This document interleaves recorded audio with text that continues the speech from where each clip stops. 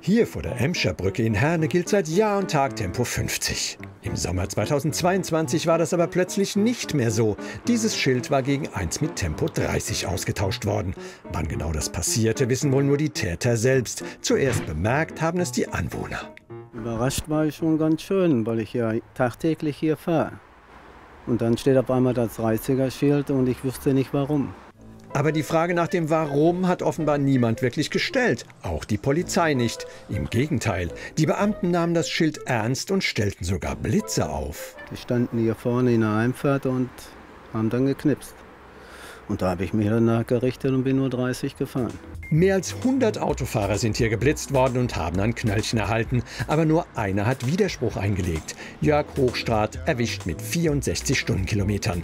Dafür bekam er ein Bußgeld von 326 Euro, einen Monat Fahrverbot und zwei Punkte. Das konnte er kaum glauben. So eine breit ausgebaute Landstraße hätte man eigentlich nie mit einer 30er-Zone rechnen müssen. Und die war ja auch falsch. Die war verkehrt gewesen, ja, richtig. Aber das wusste der Mann zum Zeitpunkt seines Widerspruchs noch nicht. Dass mit einem Bußgeldverfahren wegen zu schnellen Fahrens irgendwas nicht stimmt, kommt immer wieder mal vor. Da sind feste Blitzanlagen falsch eingestellt oder die Beschilderung fehlt. RTL West hat über die Jahre mehrfach über solche Fälle berichtet.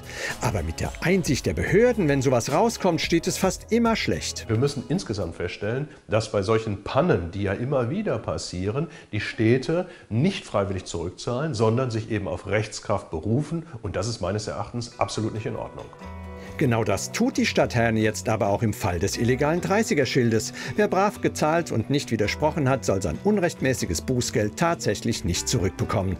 Dabei konnte ja gar kein Betroffener überhaupt was wissen von dem falschen Schild. Jede Person, die einen Bußgeldbescheid bekommen hat, kann dagegen vorgehen. So ist die Rechtslage. Wenn dieses Verfahren dann aber abgeschlossen ist, dann hat dieser Akt auch Rechtskraft.